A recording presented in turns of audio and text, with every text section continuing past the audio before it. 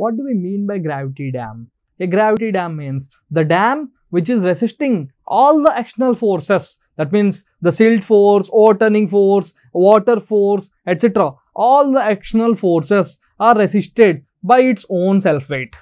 Okay. A dam that is resisting all the external forces by its own self weight is known as gravity dam. So, in this gravity dam, we need to focus mostly in gate exam point of view about the factor of safety. Factor of safety against sliding and factor of safety against overturning as well as in this gravity dams, we need to focus on elementary profile of a gravity dam. That means what is the base width you need to maintain for no tension to occur, for silt condition, etc., etc., all the things. So, you need to focus on factor of safety against overturning, factor of safety against sliding and what are the various forces acting on the gravity dam as well as elementary profile of a gravity dam. Elementary profile means you are assuming the freeboard to be 0 and the top width to be 0. That means when you are in case of elementary profile of a gravity dam, the profile becomes triangle.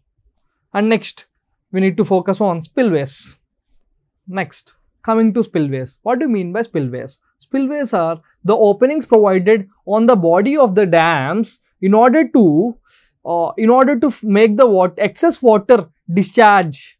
Okay. So, spillways are the openings provided on the body of the dam in order to make the excess water discharge out from the dam. Such, such constructions are known as such uh, holes are known as spillways. So, generally we have two kind of spillways. First one is free fall spillway and the second one is overflow spillway or ogee spillway. In gate exam point of view, sometimes there are chances of questions on ogee spillway. Next, the next important topic is diversion headworks. What do we mean by diversion headworks? Diversion headworks means the works, any works that are constructed across the river to rise the water level and to discharge that water level to the canals and also for other purposes. Such kind of works can be called as diversion headworks. We have various kinds of diversion headworks as weirs, barrages, etc. Out of all the diversion headworks, weirs are the major important thing, especially in GATE and ESE examinations point of view. We have three important theories for the design of the weirs. They are Bligh's theory, for in the diversion headworks for the design of weirs, we have three important theories. Bligh's theory, Lane's weighted creep theory, Khosla's theory.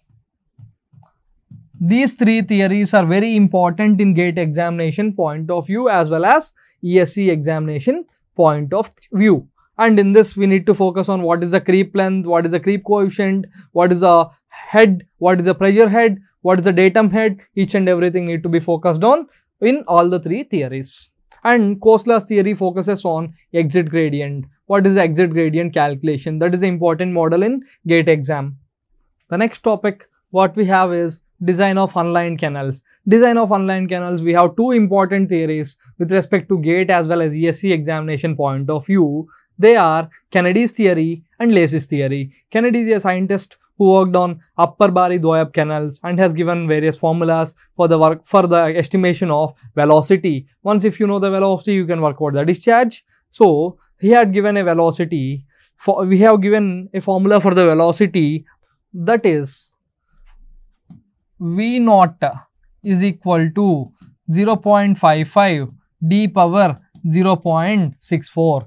This is this formula is applicable for upper Bari Doab canal regions. For other regions, he had given a velocity equation that is 0.55 m d power 0.64. Here, Vk by V naught is equal to m, where m is the critical velocity ratio. This is to be focused. That means which type of region is given for the other regions Vk you, you need to take. For upper Bari Doab canal regions you need to take V naught equation. And what is the formula for critical velocity ratio? m is equal to Vk by V naught.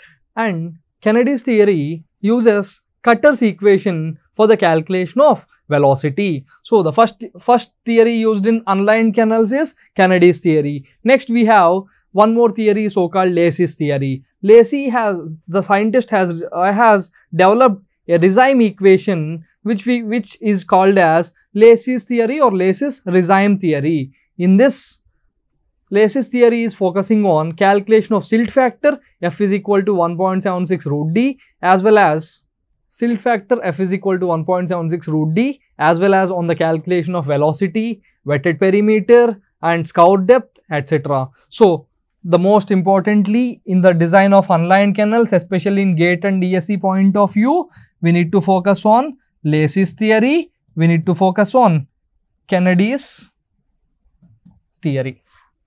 Next, finally the last topic what we have in irrigation engineering is our canal outlets.